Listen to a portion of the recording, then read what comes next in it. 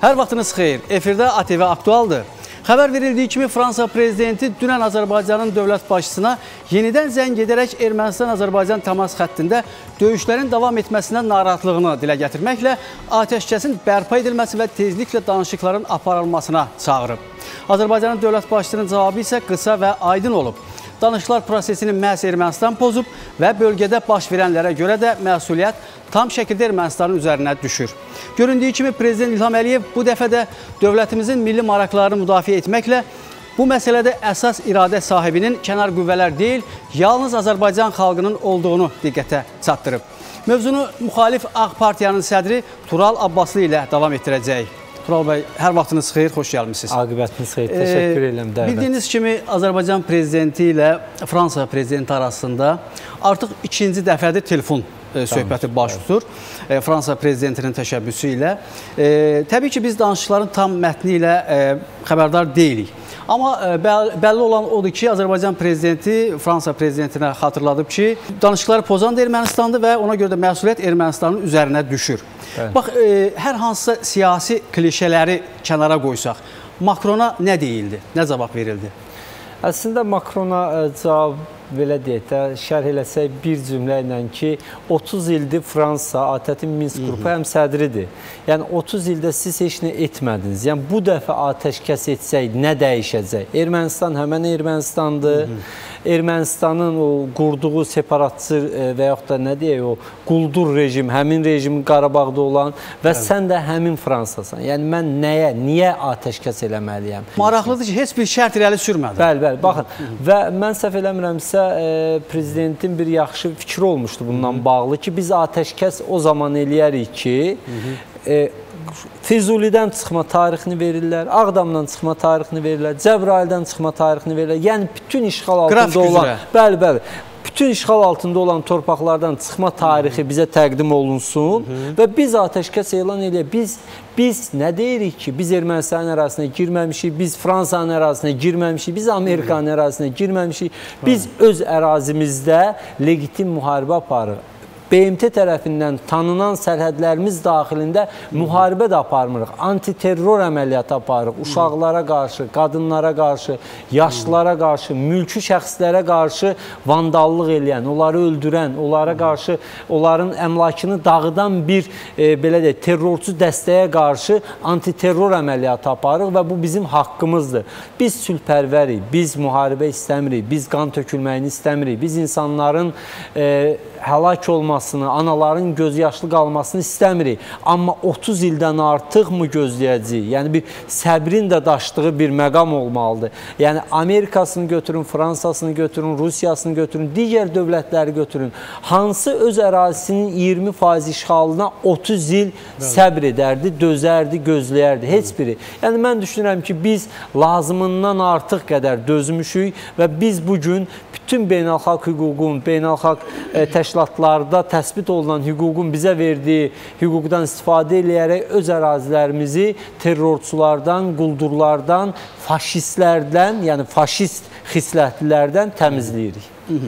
E, bu cür bir tərəfli bəyanatlar e, Fransanın Minsk qrupundakı vasitəçilik missiyası ilə də bir e, uyğun gəlirmi heç? E, Cənab Prezident özünü istəyirəm Əl Cəzirəyə müsahibəsində bildirdi ki, ya getsinlər Ermənistanın yanında dursunlar. Bu hardasa belə çıxır. Bəli. Ya da ki, vasitəçilik missiyası ilə məşğul olsun. Yəni bu ikisi bir arada mümkün olan mümkün iş deyil. deyil. Bilirsiniz, ATƏT-in Minsk qrupu həmsədrləri əslində götürəndə bir tərəf obyektiv olmalıdırlar Təbii. ki, məsələ tərəflərə ə, e, onların hak etdiyi formada yanaşsınlar. Amma ta əvvəldən ATƏT-in Minsk qrup həmsədrləri ölkələri Azərbaycan və Ermənistanı bərabər tuturlar ən yaxşı halda. Bir çox halda Ermənistan mövqeyləri qorunurdu. Məsələn, Rusiya tərəfindən, Fransa tərəfindən biz dəfələrlə bunun şahidi olmuşuq. Dönəm-dönəm hətta Amerika tərəfindən. Amma nəinki e, məsələn işğala məruz qalanla işğalçı arasında bir fərq olmalıdır. Yəni biz daha üstün mövqedə durmalıyıq və bunlar e, obyekt effektiv mövqedə durmalılar.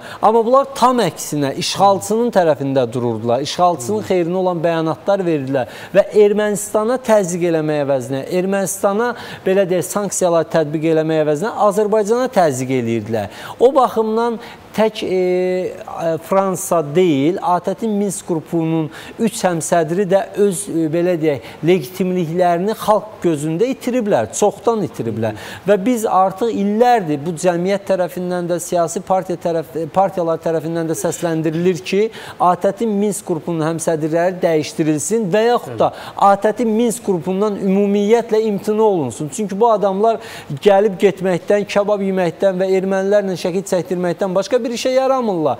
O baxımdan ümumiyyətlə ATƏT-in Minsk qrupu artıq öz effektivliyini itirmiş bir qurumdur. Fransa dövləti olaraq onun tutduğu mövqe ədalətsiz mövqedir. Makron unutmamalıdır ki, onun bu gün sərgilədiyi mövqe tək Makronun ayağına, onun siyasi e, komandasının ayağına deyil, bütün Fransa dövlətinə və Fransa xalqına yazılacaq və tarixdə də bu belə təsbit olunacaq ki, e, Fransa e, haqsız mövqedə duraraq məsələn işğalçının tərəfində durdu və bu da Fransa xalqının, Fransa dövlətinin tarixinə bir ləkə kimi düşəcək. Ümumiyyətlə bu hərbi əməliyyatların başlanması elə ATƏT-in Minsk qrupunun iflası da. Təbii, təbii, elə təbii. Fransanın da iştirakı olan bəli, həmin bəli, Minsk bəli, qrupu. bəli. O formatın iflası. Tural bəy, e, Paşinyan öz hakimiyyəti dövründə o qədər yersiz bəyanatlar verdi, o qədər danışıqlara zərbə vurdu. Yəni qırmızı xətti o qədər keçdi ki, artıq bu dəfə Ermənistanın ənənəvi havadarları da belə utandılar sanki onu müdafiə etməyə.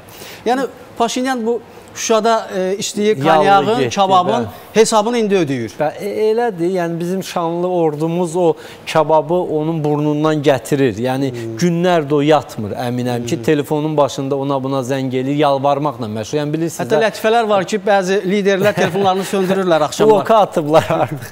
Yəni ümumiyyətlə bilirsiniz erməni bilirsiniz bəziləri çəkinir. Mən bunu çəkinmədən deyirəm. E, xalq olaraq yaltaq, ikiyüzlü, xəyanətkardılar və onların lideri də onlardan fərqlənmir.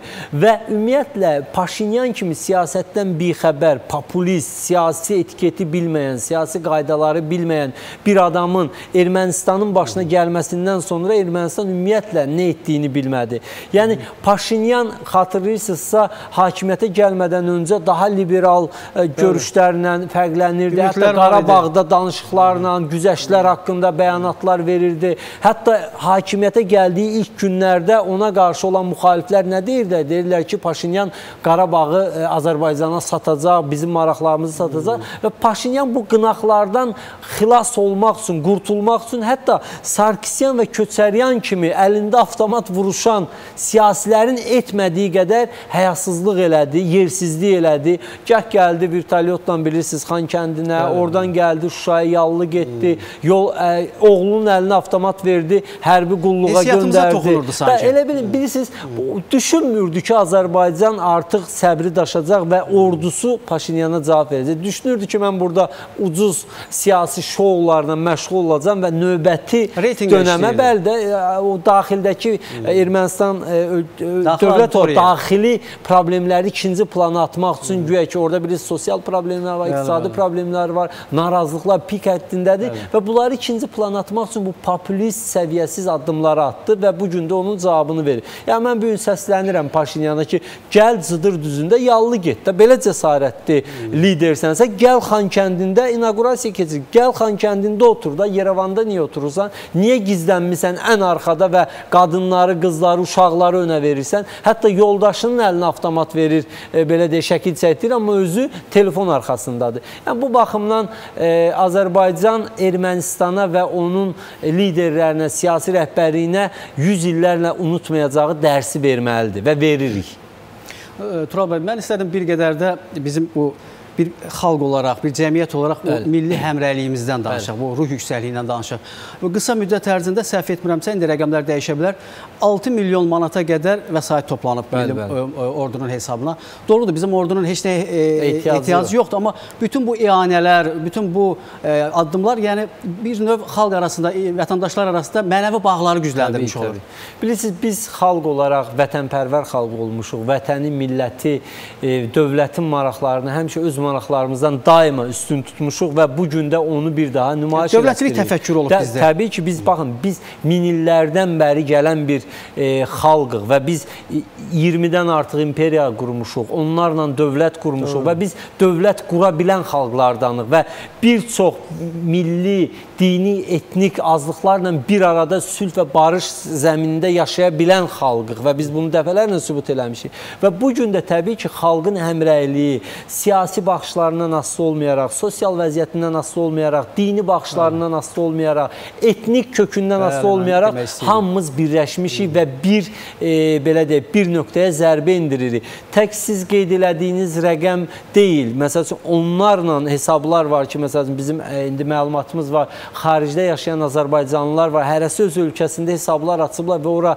e, yüz minlərlə belə deyək, ölkənin valyutasına uyğun valyutalar yığılır və yaxud da onlarla insanlar var ki, heç bir hesabata düşməyən yardımlar, belə deyək, yardımlaşma kampaniyaları təşkil edirlər. Sizin də qeyd elədiyiniz kimi bu elə bir təəssürat yaratmasın ki, güya Azərbaycan ordusunun məsəl üçün də bizim yığdığımız yardımlara, ərzaqlara filan ehtiyacı var. Hmm. Şükür Allah Azərbaycan ordusu dünyanın e, ən güclü 50 ordusundan biridir və ən təminatlı ordularından biridir. Biz bu gün onun hərbi texniki e, istər e, ehtiyatına baxanda və yaxud da onun donanımına baxanda, yəni əskərlərimizin buna şahid oluruq. Amma sizin də qeyd elədiyiniz kimi bu hərəkətlər xalqla ordunun nə qədər iç-içə olduğunu və nə qədər bütöv olduğunun göstəricisi. Nəinki xalq və ordu. Bu gün e, bilirsiniz, siyasi arenada da bir siyasi həmrəylik nümayiş olunur və göstərilir.